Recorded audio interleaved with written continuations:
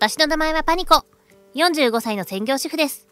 50歳の夫たけしと75歳の姑の3人で暮らしています。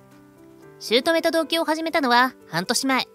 姑が病で倒れ、退院後に自宅で介護が必要になったことをきっかけに同居をスタートさせたんです。私たち夫婦には2人の息子がいるけど、すでに自立しているので、それまで働いていた会社を辞めて引っ越してきたの。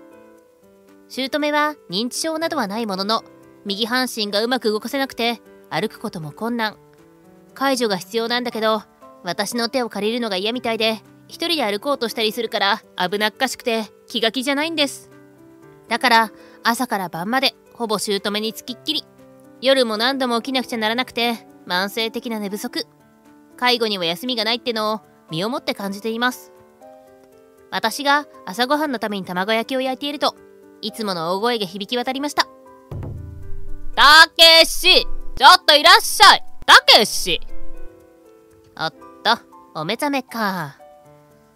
姑は、おはようの代わりに、息子の名前を呼ぶのが毎朝の日課。まあ、夫が駆けつけてくれることはないんだけどね。夫は姑の声がまるで聞こえていないみたいに新聞を読んでいます。たけしいるんだろたくおいパニコ母さんが呼んでるだろ。早く行けよ。呼んでるのはあなたの名前でしょ。卵焼き巻いてる途中で行けるわけないじゃないの。たけし。なあもう分かったっての。はいはいすぐに行きます。まったく。朝からうるさいな。パニコ。母さんを静かにさせてくれ。こいつ誰の朝ごはん作ってあげてると思ってんのよ卵焼きはスクランブルエッグに変更し私は息子の名前を呼ぶ姑のもとに駆けつけました。姑はベッドに横になっています。おはようございます。そろそろご飯できますから起きましょうか。近づく私に向けられたのは姑の怪げそうな視線。これも毎朝のこと。なんでパニコさんが来るの？私はたけしを呼んだのに。私ですみませんね。たけしさんは仕事なので、私で我慢してください。さあ、着替えましょうか。どうせ家にいるだけなんだから着替えなんてしなくてもいいのに、手間がかかるだけよ。相変わらず口は達者だこと。あら、今日はお買い物に行きますよ。食料が底をつきつつあるんです。それに、お天気もいいから、公園のお散歩も付き合ってもらいますからね。姑はデブ症だから、全然外に出ようとしないの。だから、ちょっと連れ出すのも大変。姑を一人で家に置いて出かけることもできるかもしれませんが、それはそれで、なんかやらかしちゃったらと思うと心配でできないんです。お察しの通り、実の息子である夫は介護に非協力的。同居する前は、休みの日は俺が面倒を見るから、なんて言ってたのに、同居開始から一度たりとも、夫が休日に家にいたことなんてないの。それどころか、親子の会話もほとんどなし。それでも姑は毎日自分の息子の名前を呼び顔を見せないのはまるで私の生徒でも言いたげに責めるからたまんない。金曜日の夜明日は夫の仕事も休み。今度の週末こそは姑と過ごしてくれるかなって期待していました。だって前もって今度の週末は私が久しぶりに友達と出かけるから姑のことをお願いねって言ってあったんですから。夫も承諾してたから安心。ってわけにいきませんでした。帰宅した夫は夕飯を食べずに寝室に直行。もしかして週末に向けて駅を養うつもりかなって思いつつ寝室を覗いて唖然。なんと夫は旅行バッグを取り出して楽しそうに服を詰めていたんです。な何してるの？見てわかんない。旅行の準備だよ。え旅行っていつ行くの？まさか明日じゃないよね。お願いだから違うと言って まさか。よかった今日からだよ。夜行バスで京都まで行くんだ。なーに？え、ちょ、ちょっと待って。週末は家にいてってお願いしたじゃないの。私にだって予定があるんだよ。週末こそは介護から解放されるって思ってたのに。何が予定だよ。お前の仕事は家事と介護だろ。俺に自分の仕事を押し付けるなよ。はい？あなたが協力してくれって言うから仕事も辞めてここに来たんだよ。週末は俺が介護するって言ってたのに、一日もその約束を守ってくれてないじゃないのよ。半年分の怒りが止めどなく溢れ出てきちゃいました。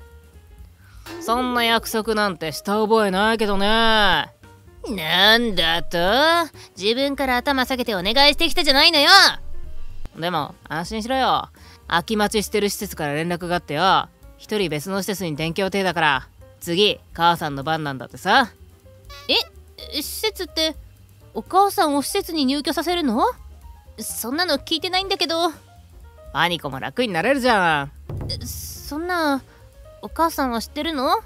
いや確定したらパニコから伝えてくれよ。そそんな私からなんて言えるわけないじゃないのよ。おっとバスの時間に間に合わない。ルンルン気分で準備を終えた夫は香水を取り出して浴びるようにつけたのです。香水？今までそんなのつけたことなかったのに。まさか。ねえ誰と行くの？まさか。不倫してるの？毎週末外出したり旅行したり香水つけたり。これって完全にアウトの香りプンプンなんですけど。とっても親しいお友達だよ。なんだよパニコ。いい年して焼きもちなんて焼いてんのか。ああ焼いてんのは焼きもちじゃなくてあんたへの怒りの導火線だっての。姑を施設に入れると言ったり不倫してるとしか思えない言動。こいつやばすぎでしょ。ま今のお前じゃ不倫されても文句言えないけどな。どういう意味や介護に追われて疲れてますって感じ。鏡見てみろ。女も捨ててる。ななんですって？さ俺は親しい友人と旅行を楽しんできますか。そう言うと夫はスキップしながら家を出て行ったのです。あまりのことに追いかける気力も出てきませんでした。今に見てろよ。こうなったら黙ってなんかいられない。でもどうしたら夫が出て行き仕方なく私は姑の食事会場のために部屋に行きました。施設のことまだ言わなくてもいいよね。それより何より不倫の証拠も見つけなきゃ。あー考えること山積みだよ。たけしは？えー、っとお友達と旅行らしいです。とっても親しいお友達とね。さあご飯食べましょう。私を施設に入れるつもりなのね。えやばい。聞こえてたんだ。いえ私もさっき初めて聞いたのででもお母さんが嫌なら行かなくてもいいんですよ。私は本心からそう言っていました。介護は大変だけど住み慣れた家から離れたくないって気持ちもわかるから。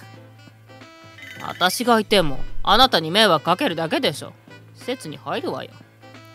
そんなお母さんの人生なんですから嫌ならおっしゃってください。たけしもお母さんのことを考えてくれてるんです。私もお母さんの意見を尊重しますからそんなこと言って。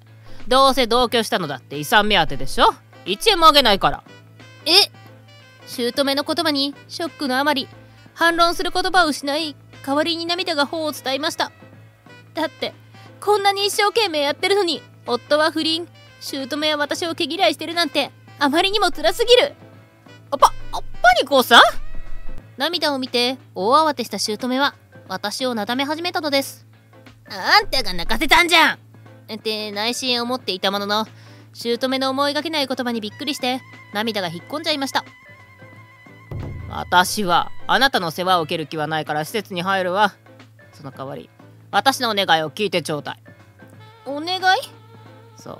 実はね。ほうほう。それはそれは。もちろん協力しますとも。いしし姑にどんなお願いをされたのかは後ほど。私はこれで夫と離婚する決意をし身辺調査に乗り出しました。1ヶ月後姑が予定通りに施設に入居することになり今日は入居の日。当然のことながら夫は親しい友人と予定があるとかで私は離れて暮らしている長男にお願いし姑に付き合うことになりました。全て終わって帰宅した私を待っていたのは夫。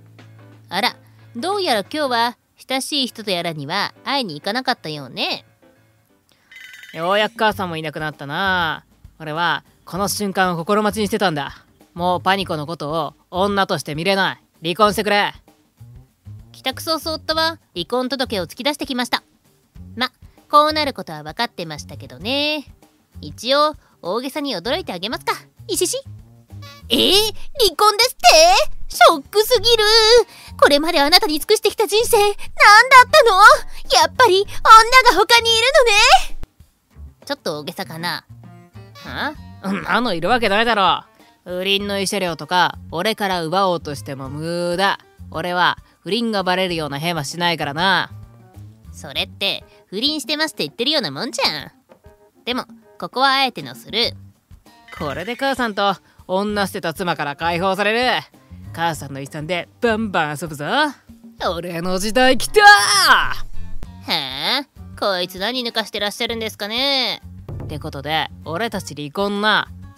ここは俺の家だからお前は1週間以内にボロ屋でも探して暮らせば。さあこの家で新生活をスタートさせるぞ。あらあら幸せなお方。それじゃ脳内のお花畑で戯れている夫にそろそろ現実を見せてあげますか。石し離婚には応じるわよ。喜んで。私は離婚届を受け取りました。あそれではこちらをご覧ください。と私はスマホを取り出しました。老眼のたけしは画面を目を細めてみるとしばらくしてようやく焦点が合い画面に映っているものが見えたのか驚きの声を上げました。か母さん？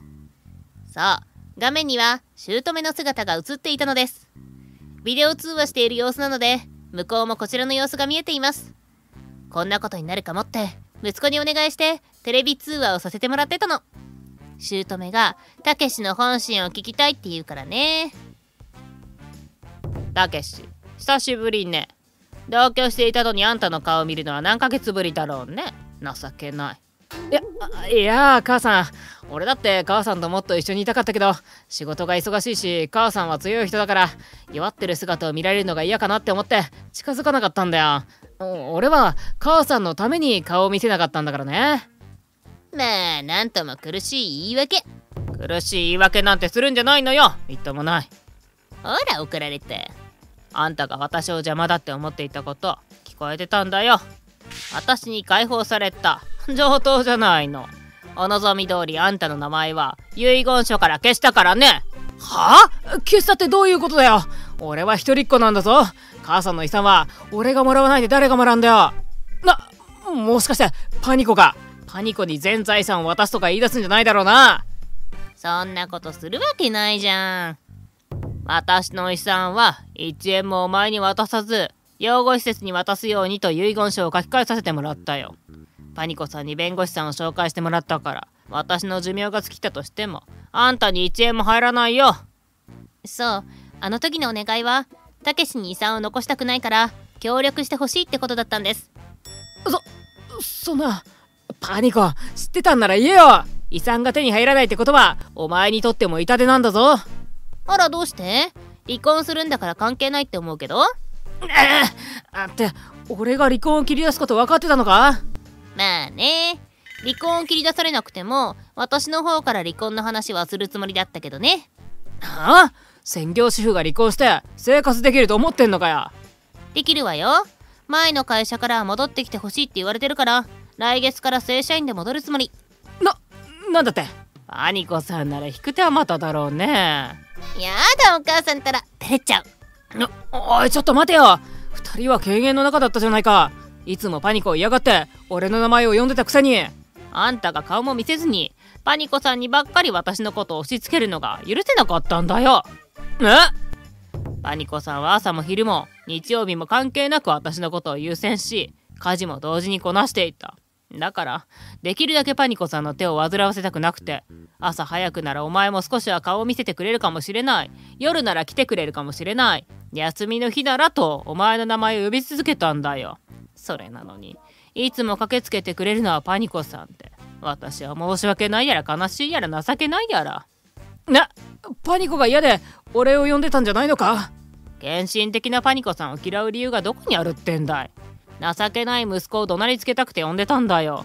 自分の母親の介護を妻に任せきりにするなって言ってやりたくてね。な？あんたが同居を持ちかけたのは驚いたけど私の遺産目当てだってすぐに分かったよパニコさんをいいように使い私がいなくなったら離婚するんだろうってね。施設に入ることが決まって決心したんだよ。あんたに1円も残さないってね。そそんな。あの時財産目当てだって言ったのは夫のことだったんです。それからその家は私の家だよ。来週から賃貸として貸し出す予定だから。1週間以内に出てってちょうだいね。はあ？息子の俺を追い出すってのか？俺はどうしたらいいんだよ。彼女にマイホーム持ってるって言っちゃったんだぞ。再婚してここで住む予定なのに。おいおいなんて言った？庭付き一戸建てに住めるって愛ちゃんは入りきってんだぞ。ここ追い出されたら俺は嘘つきになっちゃうじゃないか。俺は出ていかないからな。まるでだだっこみたいに画面に向かって懸命に訴えかけちゃってます。出ていかないなら不法侵入で訴えるしかないわね。そそんな息子を訴えるってのかよ私から解放されて嬉しいんでしょ？愛ちゃんとお幸せにね。え？ななんで愛ちゃんのこと知ってるんだよ？自分で言ったんじゃん。姑は電話を切ってしまいました。さてさて何からお話ししましょうか？とりあえず愛ちゃんって誰？なあさあな。俺には何が何だかさっぱり。自分でこの家で愛ちゃんと暮らすって言いましたけどきっつい香水つけて旅行したり週末頻繁に出かけたり俺は不倫がバレるような変はしない？あんたの言動がバカバで変はばっかりじゃないのよ。あそそのだ大体パニコが母さんと共謀して遺言書書き換えさせたりしなきゃ不倫なんてバレなかったんだ。イレギュラーなことが起きたからいけないんだ。なーに抜かしとんじゃい？とっくにあんたの不倫なんてバレてるっての。な？よく考えてみなさいなんでお母さんに弁護士を紹介することができたのか。離婚のために慰謝料やら何やらで弁護士さんにお世話になっていたからだって普通気がつくでしょ？なそそれじゃあ。慰謝料に引っ越し費用結構お金かかっちゃうわね。早く新婚生活をスタートさせるための家を探した方がいいかもね。いししお前だって家なしになるんだぞ。あらご心配なく。賃貸をすでに契約済みだから手数料なしで月5000円で貸してくれる格安物件をね。うわ。本当にボロ屋に引っ越すのかよ。やっぱ女捨ててるやつは住むところ選ばなくていいから便利だな。ありがとう。でも築30年でリフォーム済み。4LDK に庭とカーポート付きの物件にしてはお得でしょ？あそれって。おっと。さすがに気がついたかな？ももしかしてこの家なのか？あらご名答お母さんが特別価格で貸してくれたの。そう姑は私のためにこの家を貸してくれることになったんです。でかしたぞ。これで家なしを避けられる。ああ盛大な勘違いしてないかい？あら離婚するんだから出て行ってもらうわよ。わ！それにここ大家さん。つまりお母さんの要望で女性専用の賃貸なの。つまり離婚しようがしまいがあなたはここには住めないってわけ。な嘘だろ。それじゃ俺はどうしたらいいんだよ。どうしたらって決まってるじゃんね。1週間以内に家を探して出て行ってちょうだい。あーようやく思いやりのかけらもない不倫夫から解放される。いしし。そんなパニコその後姑が連絡してくれたみたいで相談していた弁護士さんが駆けつけてくれました。おかげで離婚はスムーズに済みたけしは家を出て行きましたたけしは息子に助けを求めたらしいけど不倫して家を出て行った夫を助ける人は誰もいません。不倫相手は一軒家に住めないわ。慰謝料を請求されるわで愛情もすっかりと冷めたみたいで2人は破局。慰謝料や引っ越し費用だけではなく破局した不倫相手に相当貢いでいたせいで結構な借金があるようでどうにか安い家を探して借金返済に追われる日々を送っているようです。私は広い家で平和な毎日を送っています。今日はお客さんが来る予定なんだ。お邪魔します。これお土産。母さんの好きなプリンだよ。このイケメンは私と息子たち。今日は遊びに来てくれたんだ。ありがとう。さあさあどうぞ。リビングに入った途端息子たちは笑顔になりました。あら久しぶりね。それは車椅子に乗った姑の姿を見たから 実は施設から時々一時帰宅してこうしてみんなで過ごしてるんです。おばあちゃんプリンなら食べられるよね。ああプリンは大好物だよ。ありがとう。あらお母さん気が合いますね。あらプリンが嫌いな人なんていないもの。みんなで食べるプリンは格別に美味しいものね。そうですね。さあ食べましょう食べましょう。いしし。私の姑じゃなくなったけど息子たちの大切な祖母であることには変わりありません。プリン仲間としてこれからも仲良くしてね。いしし